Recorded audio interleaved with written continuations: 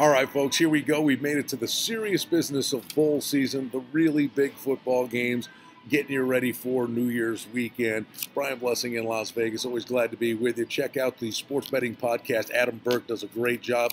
I get an opportunity to be on Adam.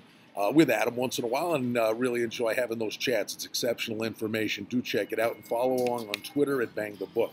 All right, let's focus on bowl season. We're going to do the game Saturday take a break on Sunday for week 17 of the NFL, and then New Year's Day on Monday. Tons of big football games. All right, let's go. First of all, we get the TaxSlayer Bowl. This is in Jacksonville, and we get an SEC ACC matchup. Louisville open five, up to six and a half, seven against Mississippi State. Total on the game has been on the rise from 61 and a half up to 63. Uh, catching points with an SEC team, especially once you get it to that key number of seven could be an attractive way to go. Uh, we go to the Liberty Bowl, Iowa State and Memphis. Now, the bottom line is Memphis is playing on their home field. Let's see, did we see that earlier this year? Yes, we did. Florida Atlantic played on their home field, uh, and it was flat out a boat race. Uh, the number on the game, uh, you know, Memphis three and a half point favorite. Total on the game is 66.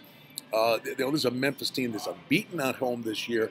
Lots of offense could be on display here a total sitting at 66. I could see that actually going up a little bit as we get closer to kickoff on Saturday. Then we go to the Fiesta Bowl, Washington and Penn State. Uh, I think you got to look coaches here. And we're seeing four and a half down to two. Penn State is favored. It's now all the way below the key number of three. That is a big, big line move. Uh, you know, you've got Washington with the number one run defense in the country trying to shut down Saquon Barkley. And then know this with extra time to prepare, and we know what Petersen did in his years at Boise State, know that Washington will have a trick player or two up their sleeve. Watch for that in the Fiesta Bowl. The Orange Bowl, Wisconsin, a six point favorite. Total is 45 against Miami, another team playing in their own backyard.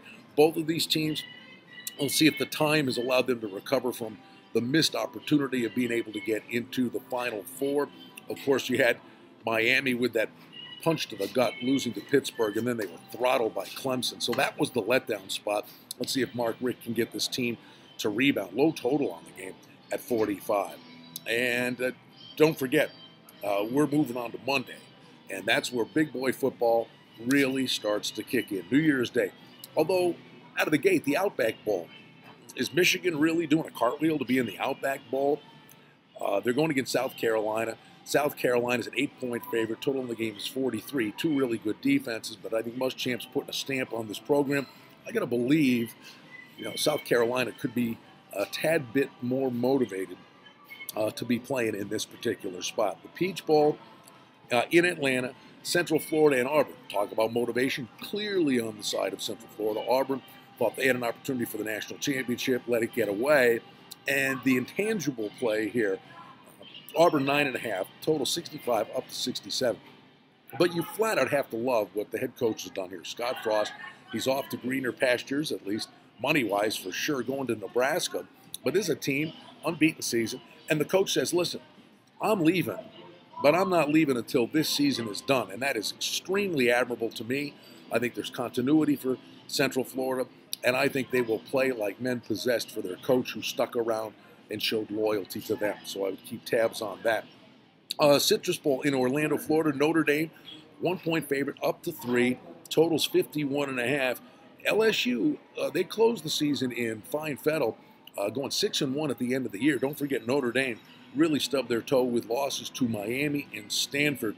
Uh, this could be kind of a knockdown, drag-out kind of football game.